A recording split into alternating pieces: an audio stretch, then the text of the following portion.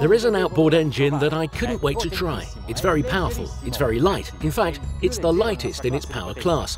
It's the 450R from Mercury Racing. It has these qualities of a racing engine precisely because it was developed by a racing factory.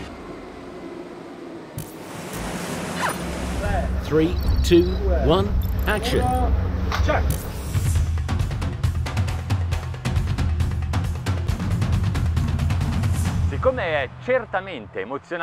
Since it is certainly exciting to try one of these engines to triple the sensations, we have chosen three of them.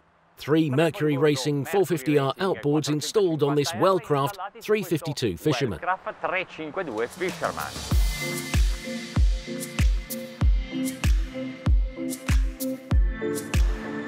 Siamo in una condizione We are in a very severe condition for these engines because this hull, in these conditions in which we see it now, is set up with the crew on board and the fuel tanks are full.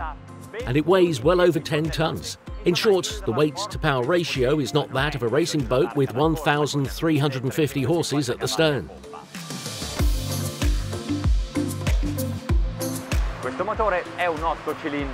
This is an 8-cylinder V 4.6 litre engine. A standard outboard motor has never been seen with a similar weight to power ratio, 1.41 horsepower per kilogram.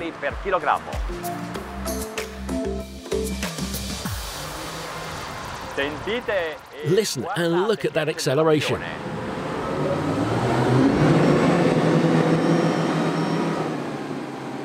È dotato di un It is equipped with a 2.04 litre volumetric compressor with double screw and the peak power of 450 horses is delivered to the propeller shaft.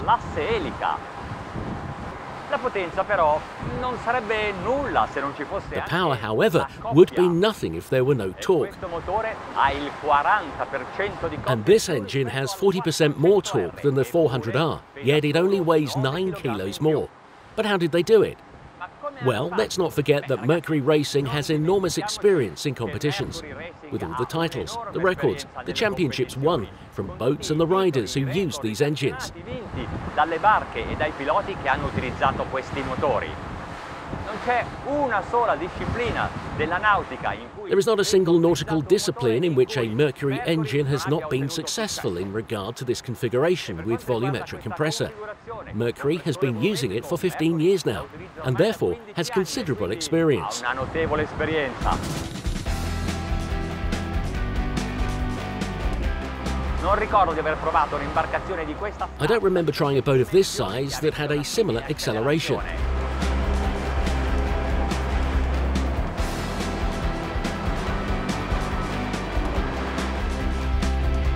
Mercury sa bene che bisogna poter controllare Mercury knows all too well that you need to be able to control a boat so powerful and fast, and for this reason, it has been using for a long time a precise electro-hydraulic steering system. And if you want to see these engines on a racing boat, they have the option of connecting them with a tie bar applied to the rear of the outboard.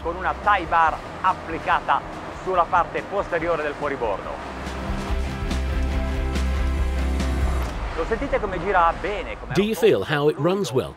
How round and fluent it is? It's all due to its architecture. An eight-cylinder V-shaped with an angle between the banks of 64 degrees. The distribution is with an oil bath chain which requires no maintenance and controls four camshafts. The latter rules the four valves of each cylinder. By the way, the valves come from racing and the forged pistons also come from competitions. But these engines have another secret, the double intercooler, which reduces the air temperature that is introduced into the volumetric compressor. This way it is possible to add more, because it is fresher, and therefore it is possible to increase its density. And if there is more oxygen in the combustion chamber, the combustion is more efficient, and the power is higher.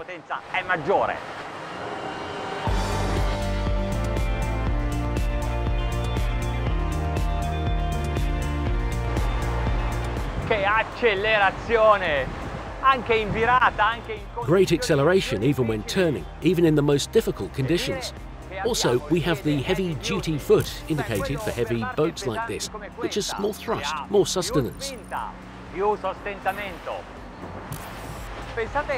Più sostentamento. Pensate come andrebbe una barca più leggera con lo Think about how a lighter boat would go with the Sport Master with a racing foot. Entrambi questi piedi hanno un rapporto da Both these feet have a ratio of 1.6, which means that the propeller turns only 1.6 times less than the crankshaft. It's a competition link. This means that on heavy boats like this, it's not good. Actually, that is not true. It's amazing. No, va benissimo. Sapete perché?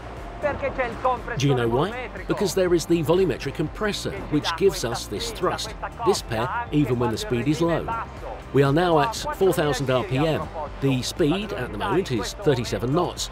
A consumption figure about 170 litres per hour, equal to 4.5 litres per mile. 70 litri ora pari a 4,5 litri per miglio. Here the sea has risen a little, so I raised the trim.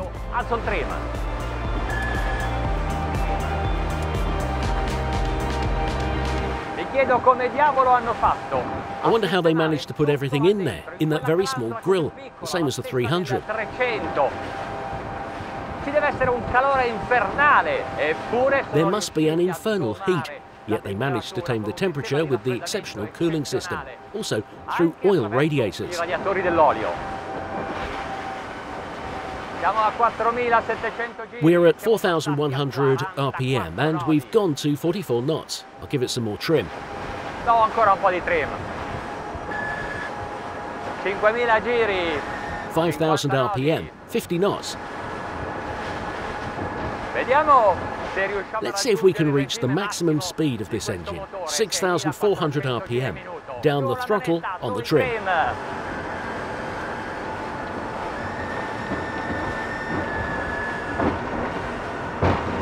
Stiamo volando sulle onde. Nessuna difficoltà di controllo anche se siamo sul mosso. We are flying on the waves. There is no un po' di difficulty in control, even if we are on rough waters, and even if there are a few waves in the wake of the other boats. Wow, now we're going very fast, at the speed of 57 knots. Ah no, mi sono sbagliato. 58. Oh no, I was wrong, 58, 59 knots. What a missile!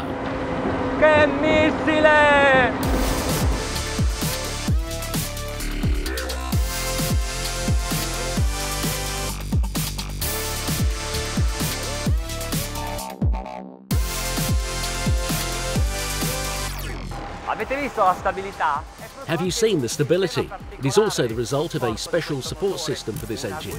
A steel guide that keeps the motor perfectly aligned in the direction you have set it in. Ok, ho un motore It is very fast engine, extraordinary performance, lightning acceleration. So it's only racing? No, it's reactional as well. There is also the joystick.